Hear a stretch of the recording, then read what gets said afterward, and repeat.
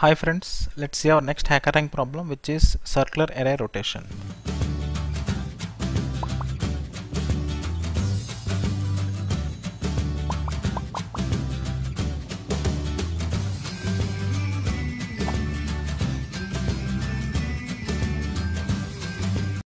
So the difficulty of this program is easy and the max score allocated for this program is 20 points okay now let's see the problem statement.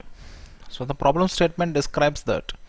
So John Watson knows of an operation called a circular array rotation of an array of integers. So one rotation operation means moves the last array of an element to the first position and shifts all the remaining elements to the right by one point.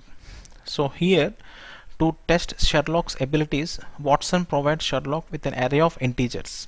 Sherlock is to perform the rotation operation a number of times then determine the value of the element at the given position. Okay. So for each array perform a number of circular array rotations and return the values of the elements at the given indices.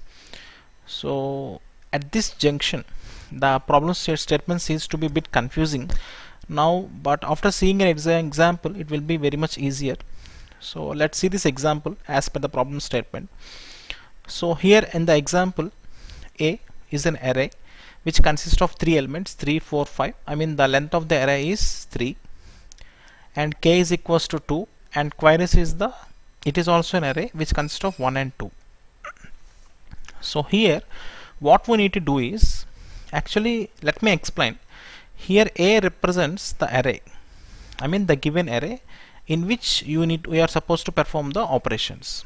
And k is the number of times we need to perform the operation okay and queries is nothing but after the I mean after performing the operations finally at the, that means at the final array we need to return these corresponding indices with respect to that particular array okay? Now let us see this statement. So, I mean uh, in this example actually the given array is 3 4 5 here we need to perform the circular array rotation by two times.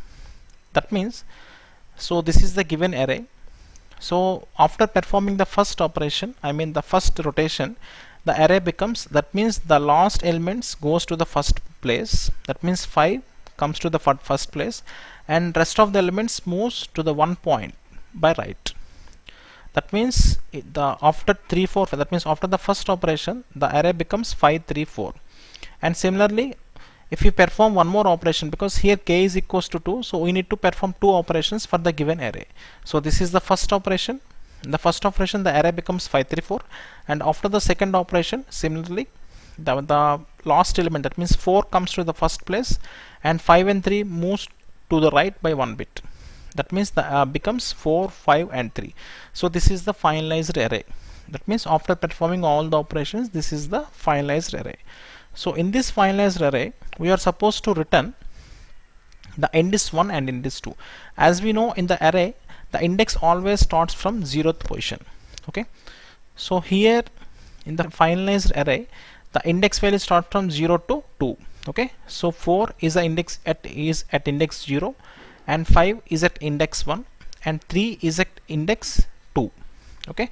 So we are supposed to return the elements which are at the index of 1 and 2 that means we need to return 5 and 3 that means the result of this particular circular rotation will be 5 and 3 okay? So I hope with this example we can move ahead with the problem. So yeah let's see the function description. So in the function there will be three arguments a k and queries. Okay? So a is going to be an array on which we need to perform the operations okay?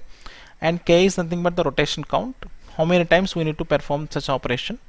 And queries is nothing but at the final. After performing all the operations in the from the finalized array so what are all the difference index value we need to return? So those will be the queries okay? So let me see the sample input. So this is a sample input. So in the sample input so let us see this one. So a so the first value is the a. So a is nothing but the so this is the array. So let me show so in this case so this is the array.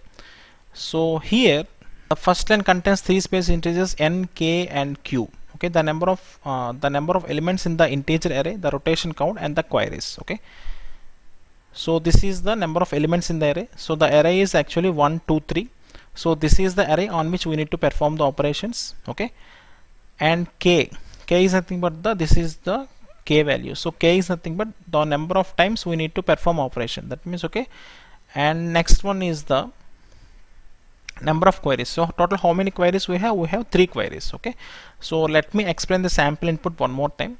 If you observe the first row so in the first row the first three represents the size of an array the given array which is 1 2 and 3 and second line represents I mean the second element represents the number of operations we need to perform. So here the number of operations we need to perform is 2 and third one is the queries length that means what are the queries? Now we need to return three queries. Okay the three queries are 0 1 and 2 okay?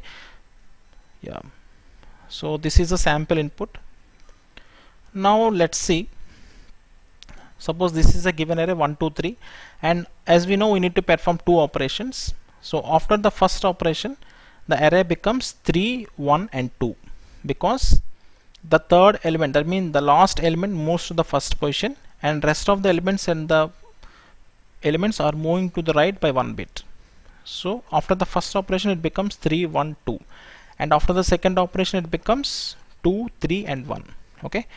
Now from which we need to return the zeroth index first index and the second index okay?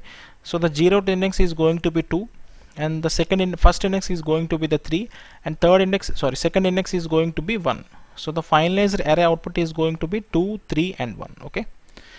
Now I think it was very much clear enough. So now we can go ahead to solve the problem. So as usual let me select the programming language type as JavaScript yeah in initially it was selected as Java 7 so let me select it to JavaScript Node.js now yeah. So this is the function where we need to write the code. Now as usual what we need to do is initially let us console and see what all the inputs that it was given okay? So simply let me console log of the given inputs. So the given inputs are a k and queries. So let me console log. So don't worry here definitely we're going to get the uh, error because I'm I haven't done it anything. So I'm just simply consoling the function parameters and I'm checking the values. So let me run the code and check. So this is the array which is the a, a is this is the array on which we need to perform the operations.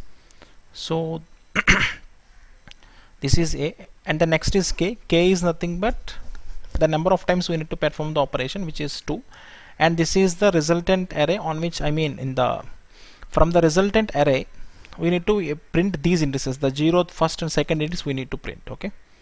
Now let's go to the code. So simply let me remove this one and let me write the code. So here the first thing is first I need to here actually we, let us divide this problem into two parts. So the first part is we need to perform the operations. And the second part is we need to print the respective indices given with uh, of the particular resultant array okay? So now what I'm doing is I'm simply writing a for loop. For let i is equals to 0 i is less than k because these many times I need to perform the operation.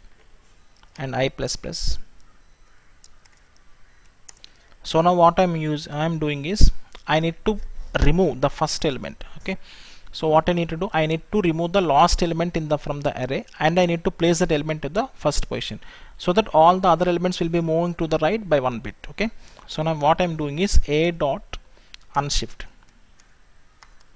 so unshift is nothing but I am going to add the element to the first position so what element I need to add at the first position first of all I need to remove the element the last element okay? So a dot pop. So this particular line of code represents we are adding the last element. That means we are popping out the last element from the array and we are adding it to the first position using unshift okay? Now let me take a simple argument resultant array as an empty array. Let me take it as an empty for now. Okay. Now let me write another for loop. So for let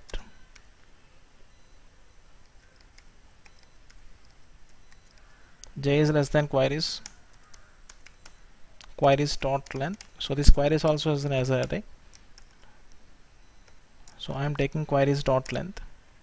So now what I'm doing is so I am pushing. So to the resultant array resultant array dot push.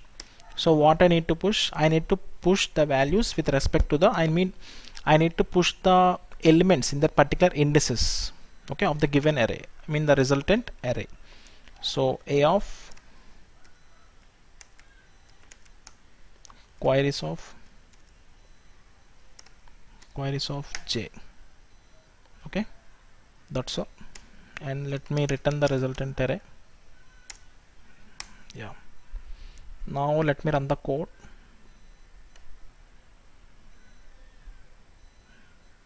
Yeah. It passes the sample test case. So before submitting the code let me go through the code walkthrough for a, uh, very quickly so here actually in this problem as you said we are supposed to divide this particular problem into two stages.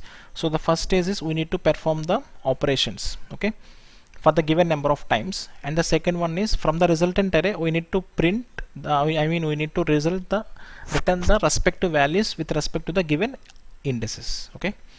So this is the first stage. So what I'm doing is here I am simply popping out the last element from the array and I'm adding to the first place in the given array and the next what I'm doing is so here with this we are getting the resultant array but we want we don't want the complete array. We want only the indices which are asked in the particular array.